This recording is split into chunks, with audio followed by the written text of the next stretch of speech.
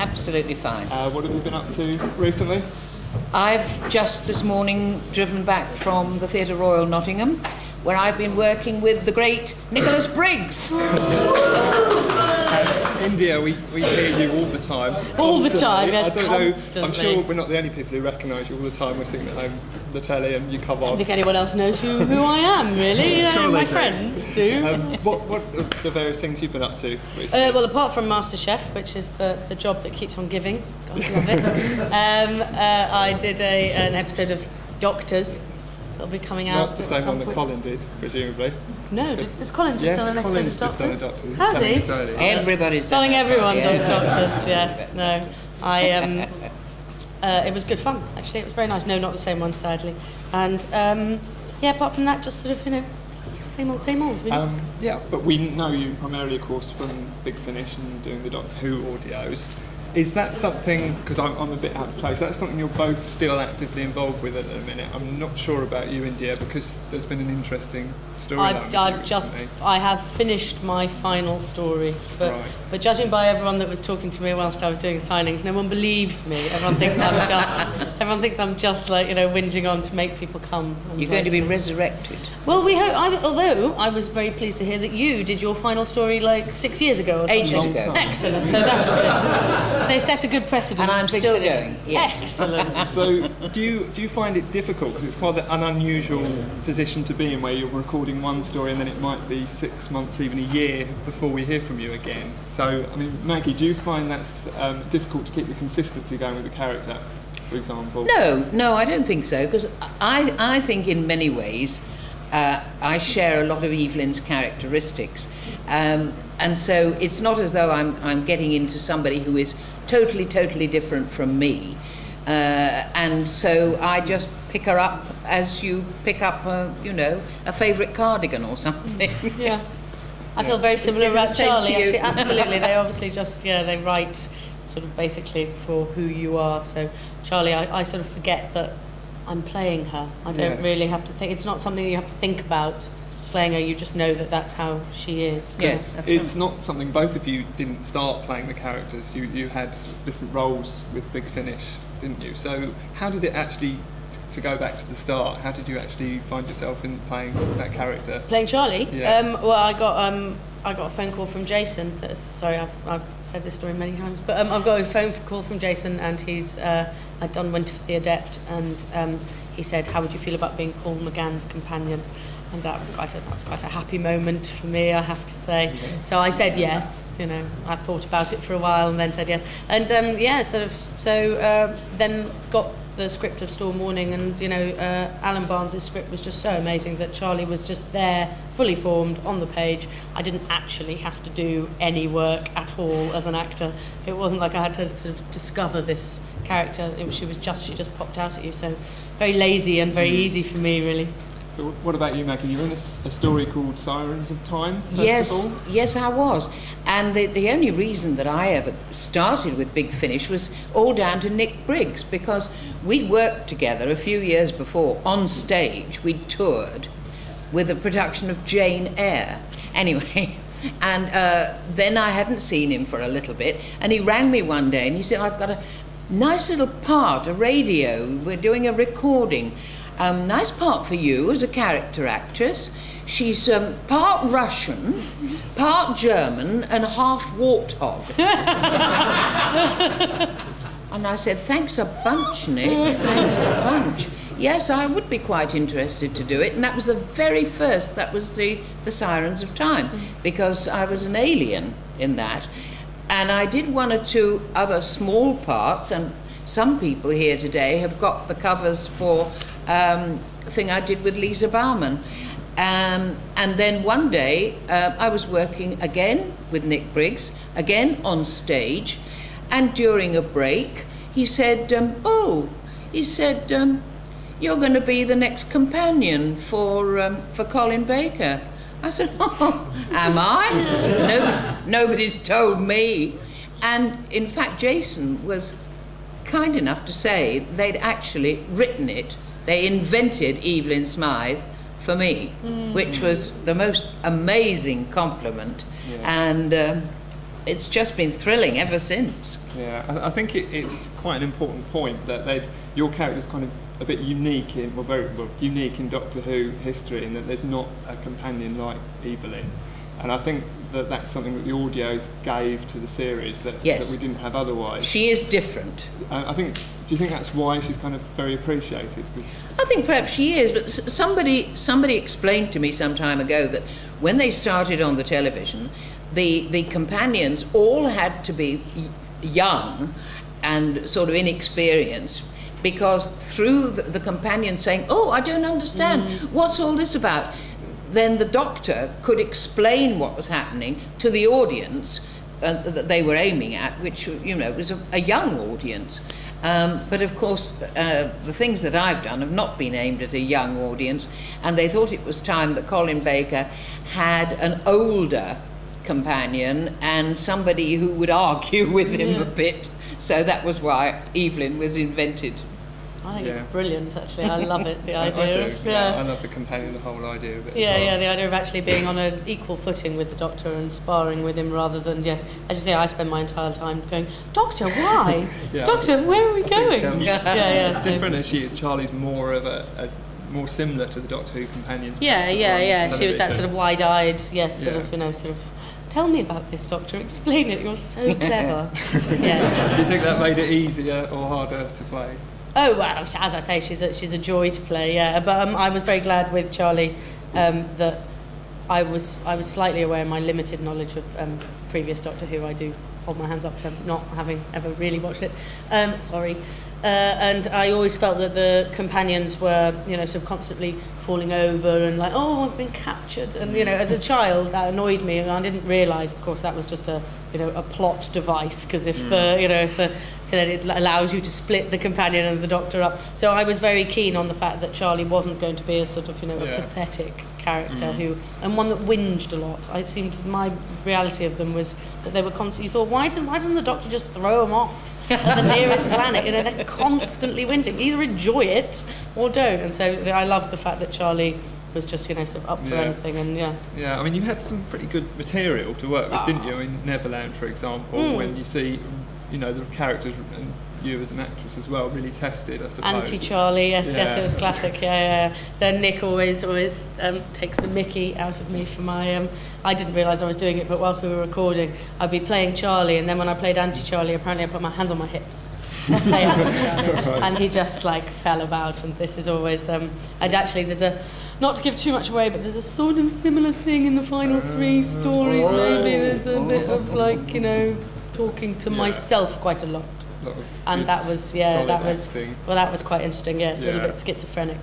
I, I, mean, did feel quite it's schizophrenic. interesting, really, with Doctor Who coming back with a strong female companion Mm. character. In a way, Charlie was kind of the well. I have to say yes there I got first. Russell T Davies sent me a lovely email I mean I sent I was basically plugging for work Yeah. and I found out found out that he was like going to be revamping the uh, the the series so I was like sent him an email going you know I'm so thrilled that you're doing it isn't this amazing and he sent one very lovely back saying you know I I couldn't have created the character of Rose Mm. without Charlie having sort of gone there already. My initial reaction to that was like, well, give me the bloody job. but there we go, it was fine. It was fine, you know, I'm, I'm over it now, it's fine. Um, uh, but no, it was, a, it was a very lovely compliment, the idea that Charlie sort of bridged that gap and allowed people to have a sort of a bit more of a modern and ballsy, dare I say it, uh, companion. And did you actually you watched the series when it came back on telly? I watched some of them. Not all of them. No, not all of them. No, fair sorry. There are a lot of them now, aren't there? there are a lot of them, yeah. I mean, what did you think of it when you saw it? Oh, I mean, it's amazing, and it's you know, and it's it's deserved its uh, sort of stratospheric fame, hasn't it? And it's Yeah. sort of, and it's that idea that like being a Doctor Who fan is now cool again.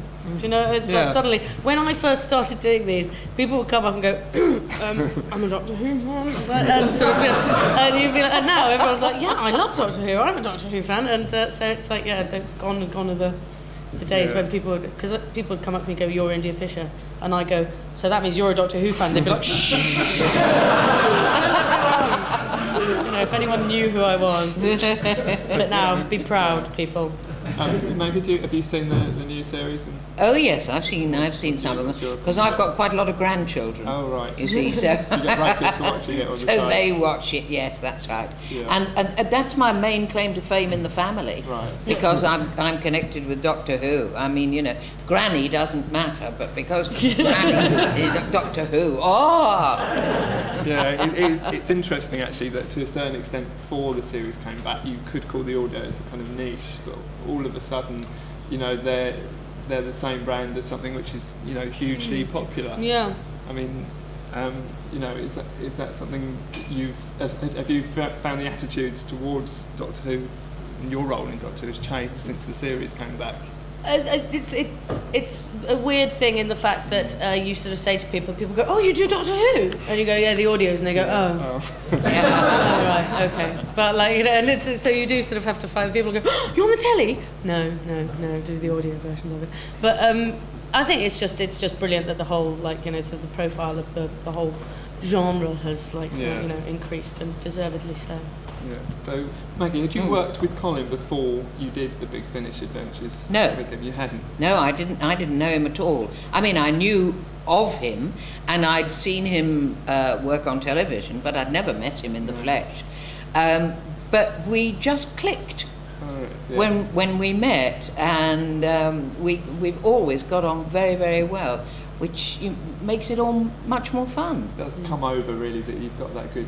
Oh, that's good. I'm glad. Yes, people say that to me. They say you you can you can sort of sense it Yeah. in the um, in the recordings, and I think, and I'm sure India will agree that this often comes over on stage as Oh, well. uh, yeah. if you've got a happy company, if you're doing a play and you all get on very well, Yeah. and you've got a happy company, I mean, members of the audience have told me this before, you know, well, we, we, we can tell Hmm. that you. Oh, there's nothing. I know that when I'm in an audience, if you see people enjoying themselves on stage, whatever, whether it's in a band or anything, you know, it's much better than people looking bored or angry with Oh, one another. yeah. It's like it's a terrible Absolutely. thing. But I have to say, I felt exactly the same way with because for me it was a bit. It was going to be a bit of a weird thing moving over to Colin as Yeah. to and like and on the first day I was thinking.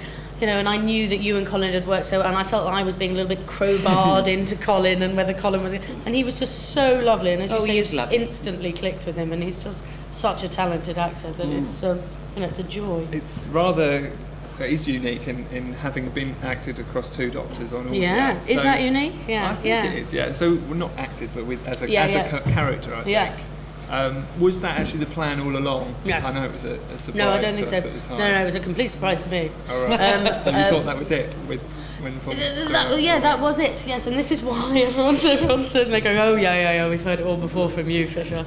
Like this, th- th- I was genuinely told when the McGann stories came to an end that they were moving to uh, Radio Seven and uh, they needed a name. Therefore, my services were no longer required, and that was like. Of, Right. Okay. Thanks. Big finish. But um, uh, and then like and so I thought that was you know I really genuinely thought you know oh well it's been a good run but there we go. And then Nick very sweetly said we've been thinking about this and we can't let you go and therefore we're going to move you over to Colin. And then it was like for three stories. Okay, for four more stories. And now and now they are. Now it is like now I promise you it has all been resolved. But we will wait and see. But you have to wait and see. Yeah. So what was it like working with with Colin compared with Paul? and same or different? different, very different. Different Uh, styles, maybe. Yeah, completely different styles and Yeah. completely different actors. And you know, and it's the same with everyone that does their their the idea that Doctor Who, whoever takes it on, it becomes a completely different you know character and person. And so Paul's Doctor is very different to Colin's Doctor. Um, but um, I loved, you know, I mean, I'm, I loved working with Paul. He he taught me an immense amount just from watching him work because yeah. I'd never really done any audio before that. And uh, but as I said, Colin, he just came in and it just felt happy and uh, and like you know at ease. And he's such he's so good at making everybody feel welcome, which is you know while you're recording it, which is for me the point of the star or the doctor is they're the one that's meant to you know they set the tone. And Colin is just such fun to work with that it's just a, it's just a joy. And everyone everyone comes out like going this is great, which is you know. Um, with Paul, I got the impression from the earlier plays certainly that he was often required to to record his parts up in Bristol, was it? Or We all went up to Oh, Bristol, yeah, yeah, we all went up there. Was whether you had to record, you still got to record with him. Oh, oh yeah, yeah, yeah. I mean, God, you couldn't do, you couldn't build a relationship like that without actually being in the. ro- I mean, there, you know, things like Zagreus. Everyone knows that there were points that Mm. people had to be sort of, you know, Conrad Yeah. did a lot of reading in for everyone else. Um, but no, no, no, we all we all trooped up to um, Bristol, and Yeah. actually it was very lovely because it was like sort of doing a proper play because they then we did four in a week, and so they cross cast them so that they, you know, and we all stayed in the same hotel. So you ended up in the bar together, and like you know, and uh, not with Paul. Obviously, Right. Paul lived in Bristol, so he went home to his wife and children. But um, and so it just sort of felt like a proper company, right? and so that was that was really nice. It's because they they obviously can do such clever things with audio that you're never quite sure who's there. Who is who, yeah, Who's- and- if and- anyone's actually there. I mean, is, i- have either of you had experiences where you've had to record something in with someone who's you know not available? and Yes. just kind of create the chemistry. Yes, that, that that has happened. That they've that they've, but not with a major character. Um, I think sometimes act, an actor isn't available on the, the day that you do the recording, and so they um, they put somebody else in, and then they um, put in the real uh, person, Voice, yeah. real um, actor. Um, when they, you know, when, when they're putting the whole thing together, um, yeah, that's happened to me, but not not with a major character, No. only with somebody who's playing a fairly small part.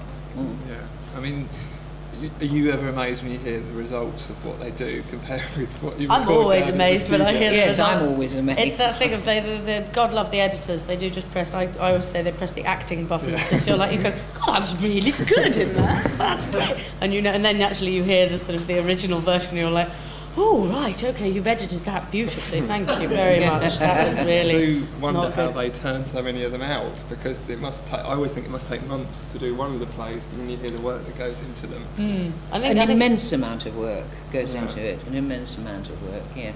And they are terribly skilled, aren't they, Oh, India? extraordinary. Yeah. Yeah, really, really impressive. They make us sound good, and um, and, and all the and it's that thing of because it's almost like sort of acting against a you know a green screen or something, which I've never actually done, but I imagine is as difficult. The idea that you know you have to sort of imagine all these things, and I I, I did I heard one recently where um, and I did it on this podcast where uh, I was meant to faint.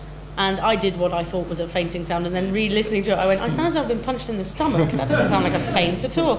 And I'm like, "Oh, I'm sorry." and there are times when you listen back and you go, "Oh, that's what you wanted. Sorry, didn't get that at all in recording." And so they have to do Yeah. magical things with it. But yeah, Because you have to mention Toby too, the ah, yes. the, Yeah. the studio, Yes. yeah. because if it if it weren't recorded so brilliantly, it, it wouldn't come out anything Very like as true, well. very true. Yeah. And I he's mean, Toby is, does a wonderful job. yeah, there, there are so many of them now. You, you obviously can't listen to them all. Do you, do you listen to many of the things that you?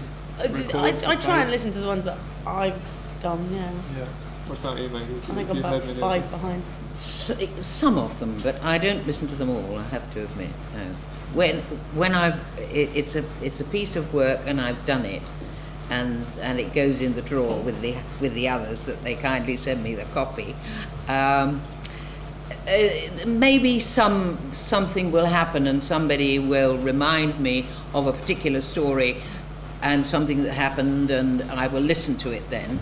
But in the ordinary way of things, you know, you're moving on. Yeah. Mm. So you, d- you don't tend to look back, you tend to look forward.